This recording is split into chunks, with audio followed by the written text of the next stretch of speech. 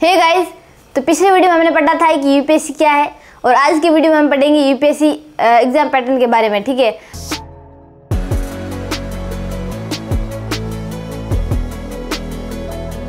क्योंकि हमारा पहला टॉपिक था यूपीएससी क्या है, और दूसरा है हमारा कि यूपीएससी एग्ज़ाम पैटर्न क्या है, ठीक है? तो आज की वीडियो में हम पढ़ेंगे यूपीएससी एग्ज़ाम पैटर्न के बारे में। तो मैंने पिछली वीडियो में आपको बता दिया था कि यूपीएससी का जो एग्ज़ाम है वो तीन चरणों में होता है। First prelims exam second mains exam और थर्ड इंटरव्यू ठीक है? तो आज हम पढ़ेंगे प्रीलिम्स के बारे में मेंस के बारे में और इंटरव्यू पूरी डिटेल में पढ़ेंगे, ठीक है? सबसे पहले हम पढ़ेंगे प्रीलिम्स एग्ज़ाम के बारे में, ठीक है? इसे हिंदी में कहते हैं प्रारंभिक परीक्षा। मतलब प्रीलिम्स में दो पेपर होते हैं, एक होता है जनरल स्टडीज़ फ़र्स्ट और दूसरा होता है जनरल स्टडीज़ सेकंड ठीक है? जो जनरल स्टडीज़ सेकंड पेपर है, उसे हम कहते हैं सी सेट ठीक है? और फ़र्स्ट पेपर है, उसमें आते हैं कुल सौ क्वेश्चन आते हैं और सेकंड में आते हैं अस्सी क्वेश्चन। इसमें आप कंफ्यूज मत हो जाना क्योंकि प्रीलिम्स एग्ज़ाम ये दो पेपर इसके बारे में ये बताया गया है, ये बताया जनरल स्टडीज़ सेकंड के बारे में बताया गया है और ये है मेंस एग्ज़ाम इसको दो भागों में बांटा गया है, एक है क्वालिफाइंग पेपर और दूसरा है मेरिट बेसिड ठीक है? ये है क्वालिफाइंग पेपर पेपर फ़र्स्ट ये है पेपर सेकंड इसके बारे में बताया गया है, ये इसके बारे में बताया गया है, ठीक है? और जो दूसरा है मेरिट बेसिड ये है सात पेपर इसमें paper first paper second paper third fourth five six और सेवन ये सारा इसके बारे में बताया गया है तो आप कंफ्यूज मत हो जाना। तो सबसे पहले हम पढ़ेंगे प्रीलिम्स एग्ज़ाम के बारे में। इसमें दो पेपर होते हैं, एक होता है जनरल स्टडीज़ फ़र्स्ट और दूसरा होता है जनरल स्टडीज़ सेकंड इसे कहते हैं सी सेट ठीक है? और इसमें कुल सौ क्वेश्चन आते हैं और इसमें आते हैं अस्सी क्वेश्चन 200 अंक पूरा टोटल 200 अंक का होता है और ये होता है दो सौ मार्क्स का।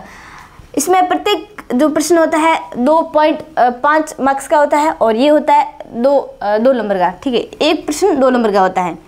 इसमें ऑब्जेक्टिव टाइप होता है और इसमें भी ऑब्जेक्टिव टाइप होता है। ऑब्जेक्टिव टाइप का मतलब ये होता है कि एक क्वेश्चन आता है, उसके चार ऑप्शन आते हैं और उसके आधार पे हमें क्वेश्चन का आंसर देना होता है। ठीक है, इसे हम कहते हैं ऑब्जेक्टिव टाइप ठीक है और नेगेटिव मार्किंग इसमें भी होती है और नेगेटिव मार्किंग इसमें भी होती है। नेगेटिव मार्क कितनी होती है? दोनों में एक बट्टे तीन होती है।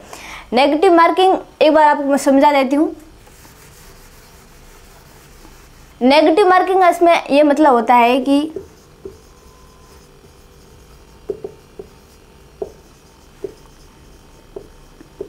नेगेटिव मार्किंग नेगेटिव मार्किंग मैं इसकी बात कर रही हूँ जनरल स्टडीज़ की, ठीक है? इसमें प्रत्येक जो क्वेश्चन होता है वो दो नंबर का होता है, ठीक है?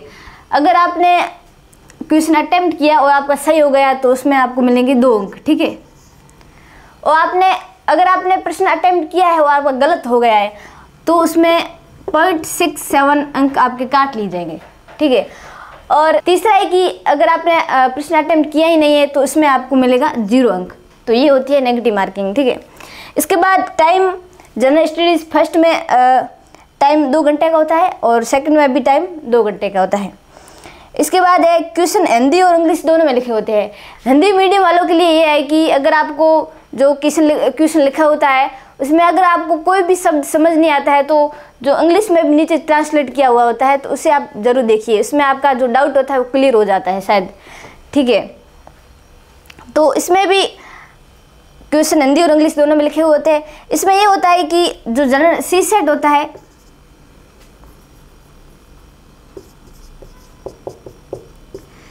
सी सेट में सी सेट क्वालिफाइंग होता है। हालाँकि दोनों ही क्वालिफाइंग होते हैं, लेकिन सी सेट होता है, वो तैंतीस प्रतिशत अंक लाना इसमें अनिवार्य होता है, ठीक है?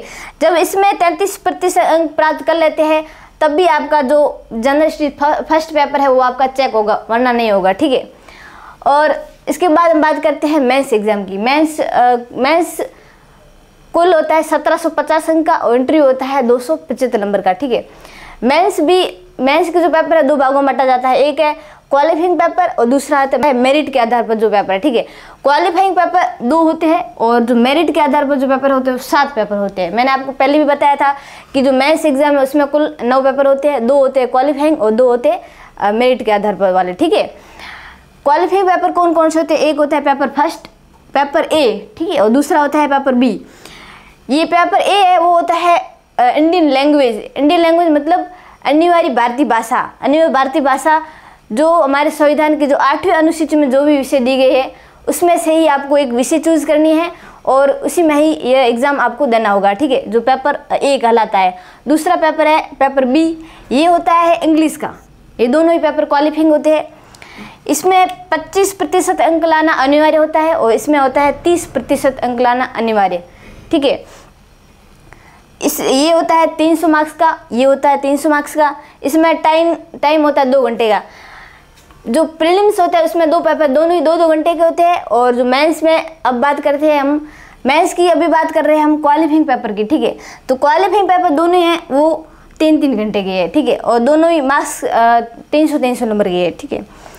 सब्जेक्ट टाइप है इसमें। सब्जेक्ट टाइप का मतलब ये होता है कि एक प्रश्न आएगा, उसमें जो आंसर है वो अपना लिखना पड़ता है, ठीक है? तो क्वेश्चन है, हिंदी, इंग्लिश दोनों में आते हैं। तो ये हो गए क्वालिफाई पेपर और दूसरे होते हैं मेरिट मेरिट के आधार पर सात पेपर होते हैं। इसमें कुल आते हैं सात पेपर ठीक है। पहला जो कि ऐसे निबंध का होता है 250 नंबर का होता है।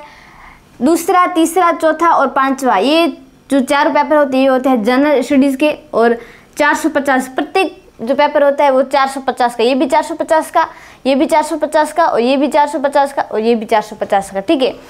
और छठा पेपर है वो छठा और सातवा, दो होते हैं ऑप्शनल सब्जेक्ट के, ठीक है? और प्रत्येक पेपर 250 अंक का होता है। क्वालिफाइंग पेपर दो, ठीक है? एक है पेपर ए और दूसरा है पेपर बी ठीक है? पेपर ए है वो 300 मार्क्स का पेपर बी है जो तीन सौ मार्क्स है दोनों छः सौ मार्क्स है, लेकिन ये जो दोनों ही पेपर है वो मेरिट में नहीं जुड़ते मतलब इनके जो अंक है वो मेरिट में नहीं जुड़ते हैं। मेरिट में सिर्फ़ ये सातों पेपर सातों पेपर के जो अंक और एक जोड़ते हैं इंटरव्यू का, ठीक है? पेपर ए ये होता है तीन सौ का और पेपर बी ये भी होता है तीन सौ का। कुल हो गए छः सौ। लेकिन ये मतलब मेरिट में नहीं जुड़ते हैं। ये मेरिट में नहीं जुड़ते हैं। ये सिर्फ़ क्वालिफाइंग पेपर ही होते हैं। इसके बाद बात करते हैं मतलब मेरिट वालों की।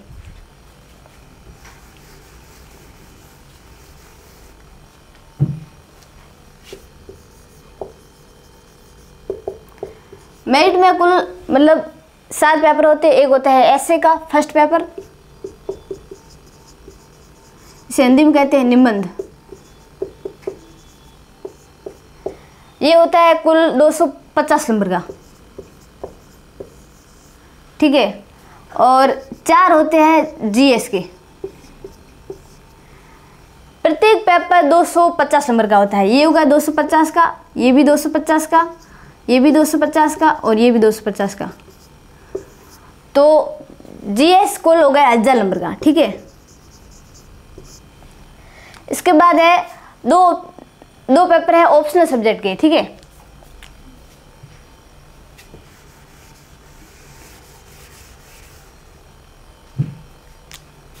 ऑप्शनल सब्जेक्ट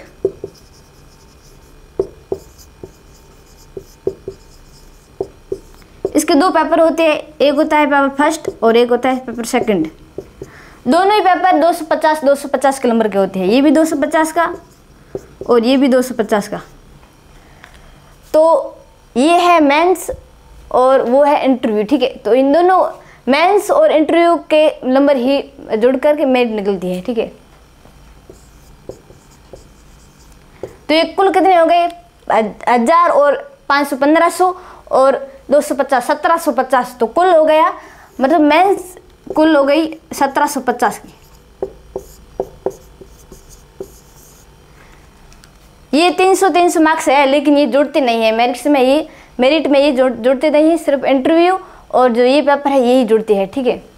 तो अब बात करते हैं इंटरव्यू की। इंटरव्यू दो सौ पचहत्तर नंबर का होता है, ठीक है?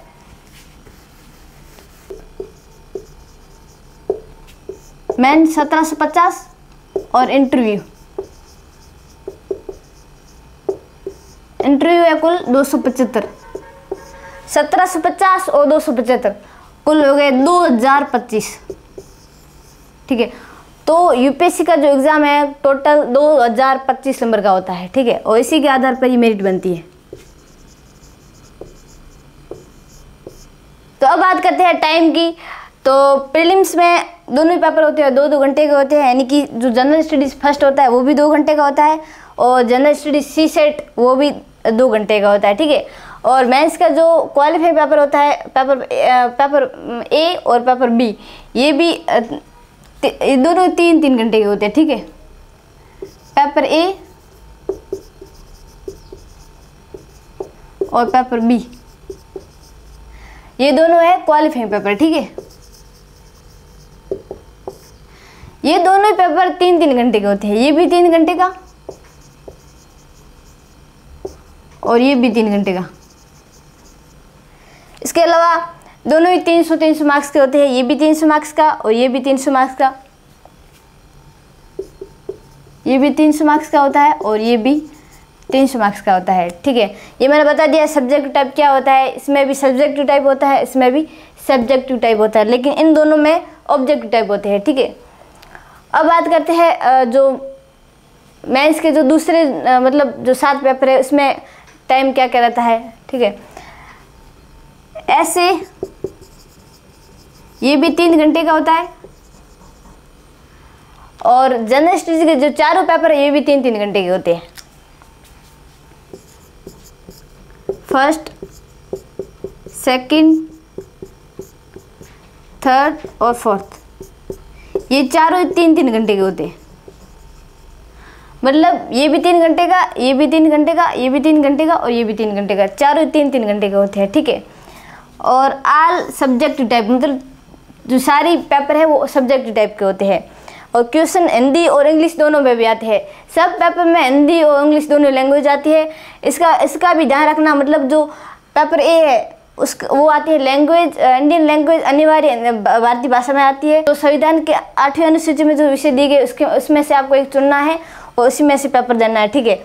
और इसमें ये ध्यान रखना है कि जो लैंग्वेज को भी चूज़ करो, लेकिन जो पेपर आते हैं वो हिंदी और इंग्लिश दोनों भाषा में आते हैं।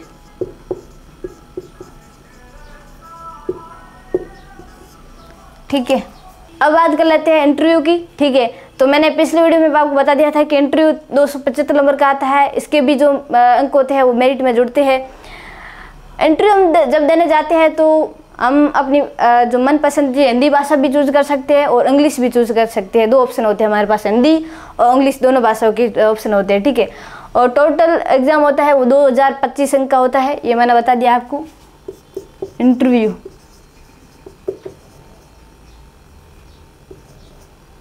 इंटरव्यू यूपीएससी एग्ज़ाम का अंतिम चरण होता है।